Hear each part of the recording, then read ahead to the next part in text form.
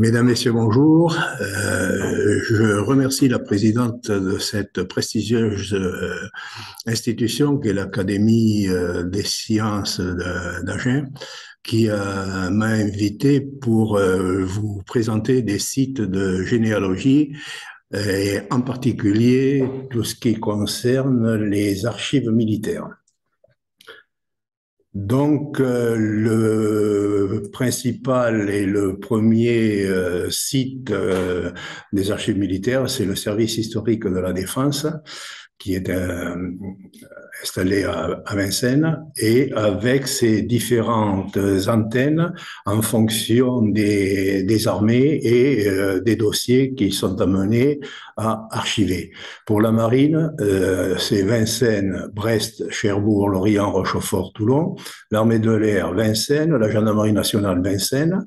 Le centre des archives de l'armement et du personnel civil, c'est pour les, les personnels de, de l'armement, donc à Châtellerault la division des archives des victimes des conflits contemporains, qui est à Caen, ce sont les archives permettant d'honorer et de faire valoir les droits des victimes des conflits mondiaux. Ensuite, à Pau, le centre des archives du personnel militaire, qui conserve les archives des appelés du service national et des militaires de carrière français ou étrangers et effectue des recherches administratives dans divers fonds. Euh, ensuite, nous avons le Grand Mémorial, qui euh, est un site euh, qui renvoie surtout vers d'autres euh, sites plus euh, spécifiques, que sont Mémoire des Hommes, les Archives nationales d'outre-mer et les archives diplomatiques. Je vais les développer les unes après les autres. Euh, le Grand Mémorial euh, présente aussi la base des registres euh, matricules.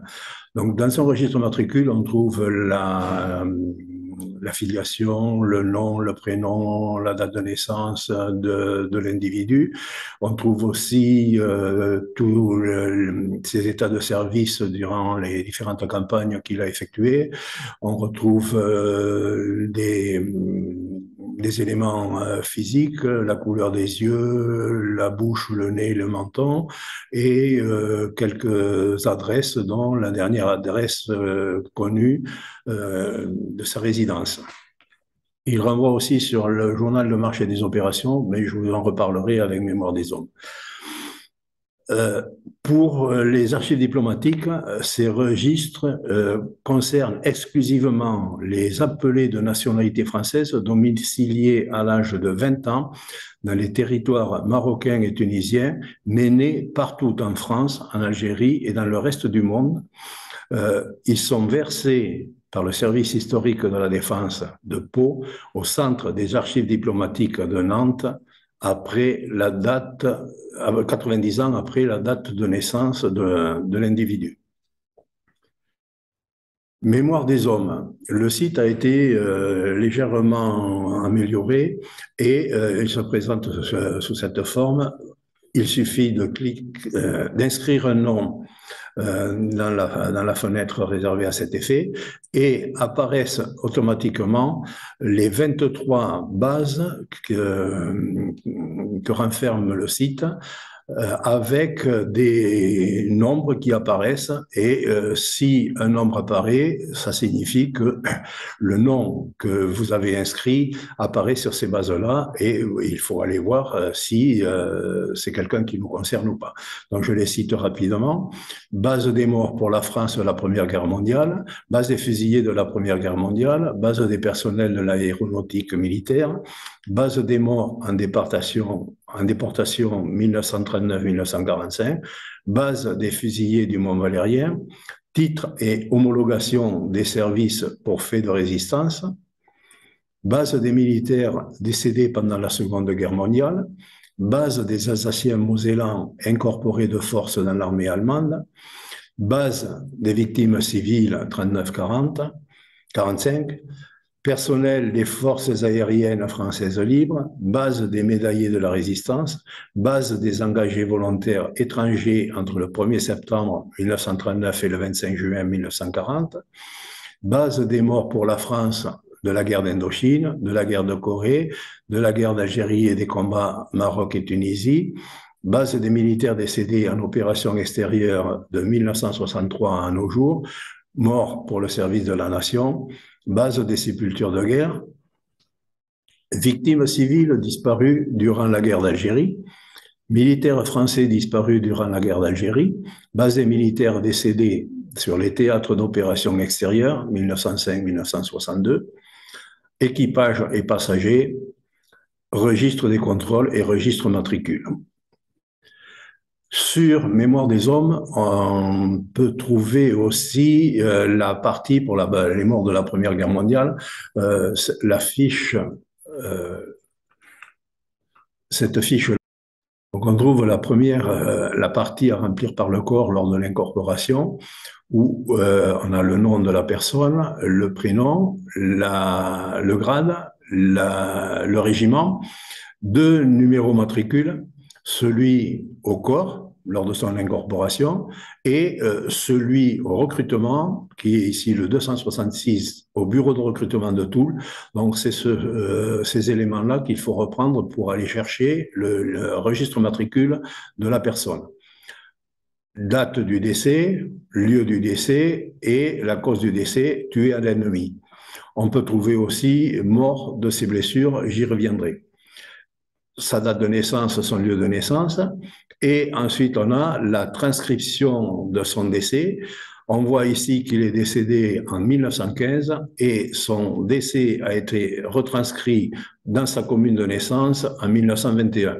Donc, euh, parfois, si on cherche euh, dans la commune le décès en 1915, on n'est pas sûr de le trouver, il faut le voir en 1921. Le journal de marche et des opérations des régiments c'est euh, un, document qui retrace heure par heure euh, tout ce qui s'est passé dans l'unité, euh, que ce soit bon, l'encadrement du régiment, les tableaux des tués, blessés, disparus, les citations pour des qui valent pour des remises de décoration et euh, toutes les, les, situations de combat, de remise à l'arrière, de déplacement, etc. Et euh, certains sont associés à des croquis euh, très précis de la, de la ligne de front. Et tout ça pendant que euh, les combats continuent. Je vous ai parlé dans la fiche du livret militaire de la cause du décès euh, mort de ses blessures. Donc pour savoir exactement de quel type de blessure la personne est décédée, il faut s'adresser au service des, euh, des, archives médicales des hôpitaux des armées à, Limoges, euh, l'adresse ici, 23 rue de Châteauroux, euh, qui euh, envoie soit le certificat de décès, soit directement le, dossier complet. Les archives nationales d'outre-mer, dont la mission est la conservation, la communication et la collecte des archives de l'expansion coloniale française. Vous voyez sur la carte tous les pays qui sont concernés où vous pouvez y trouver l'état civil, les registres matricules, le bagne, les, envoyés au bagne, euh, l'iconographie et d'autres fonds numérisés. Donc pour l'état civil, ben, vous pouvez euh, choisir ici en, en inscrivant les noms sur cette, euh, sur cette fenêtre. Euh, là, c'est pour euh, aussi euh, toutes les recherches par, par critères, l'iconographie et différents autres fonds qui ont été numérisés. Là, on a Archives des colonies, Annales du Conseil souverain de la Martinique. Pour ce qui concerne les archives aériennes catholiques, elles sont décentralisées euh, à Nîmes pour euh, l'arrondissement d'Alger, à Oran pour le à dans la Drôme pour euh, les diocèses d'Oran et à Tarascon pour le diocèse de Constantine. Euh, ce sont des monastères qui, euh, ou des couvents qui euh, gèrent ces archives-là. Donc, euh, c'est peut-être une des seules sources d'archives qui euh, sera payante pour entreprendre des recherches. Sur Philae, euh, leur, euh, base, leur base des archives militaires euh, donne euh, plein de possibilités de, de recherche. Euh, et on a en particulier le tableau d'honneur de la Grande Guerre, sur lequel on peut trouver la photo de la personne, ensuite son nom, son prénom, euh, son grade et la citation qui lui a euh, permis de rentrer, euh, d'être inscrit dans ce tableau de la Grande Guerre. Et les soldats distingués concernent ceux qui ont été décorés de la Légion d'honneur ou de la médaille militaire.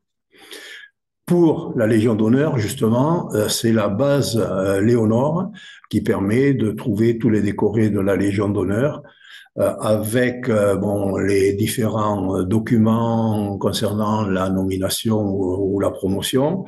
Et systématiquement, euh, on y trouve le, un acte, un extrait de l'acte de, naissance de la personne. Sur Philae, on, trouve les décrets portant nomination dans l'ordre de la Légion d'honneur et euh, euh, conférant la médaille militaire.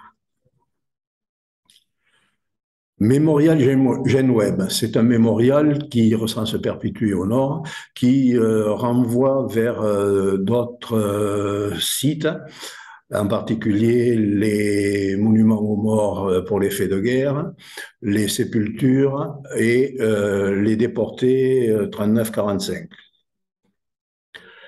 Donc, pour les nécropoles, les sépultures, on a les nécropoles nationales. Donc, euh, par département, elles sont, elles sont notées et on peut faire des recherches pour arriver à trouver euh, le nom qui nous intéresse, euh, soit des photos de, monuments ou soit des listes.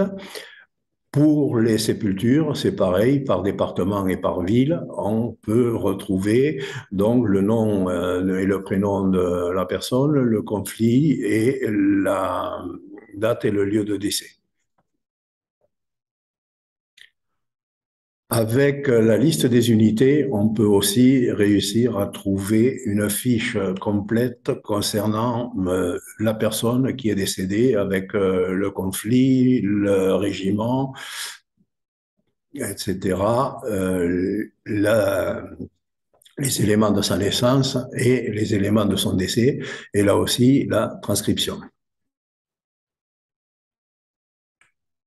Le livre d'or qui nous permet, je vous ai pris l'exemple du Lot-et-Garonne, donc euh, on peut aller euh, voir euh, ici les, la liste avec les noms, les prénoms, pareil, le conflit, la date du décès et voilà la fiche qui nous est euh, qui nous est donnée, un peu comme celle qu'on a vue précédemment.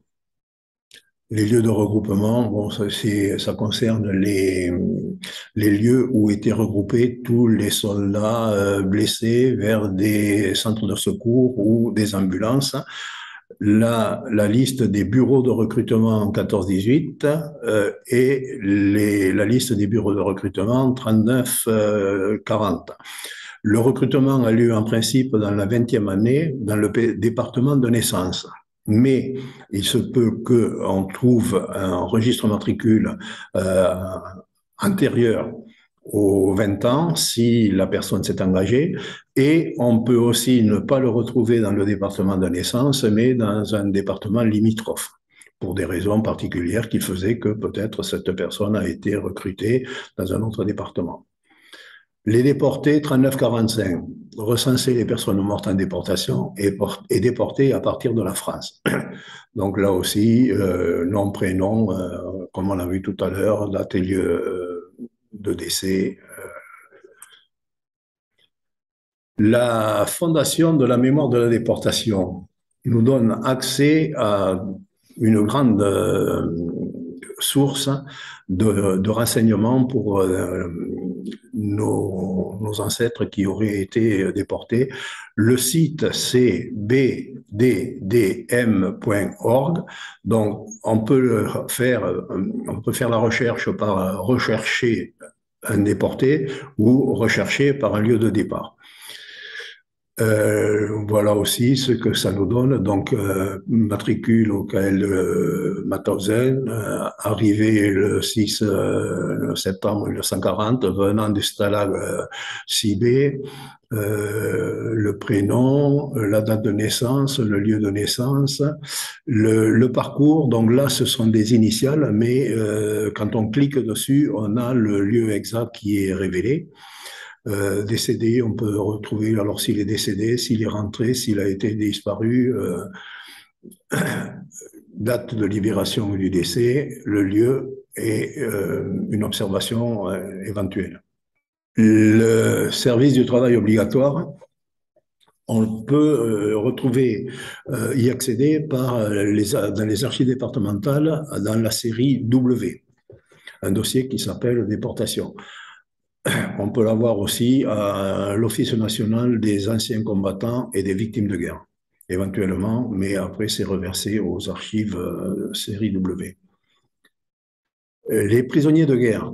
Donc on peut les rechercher par euh, Gallica, la liste euh, officielle des prisonniers de guerre, ou par Philae, aussi, donc, il y a une, liste euh, des, des, différents prisonniers où on a bon, les noms que j'ai biffés ici, le prénom, euh, la date de naissance, le lieu de naissance, le grade, le régiment et le stalag dans lequel il a été interné.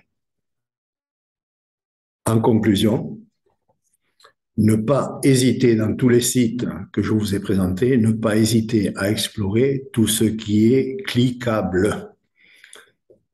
Voilà, je vous remercie.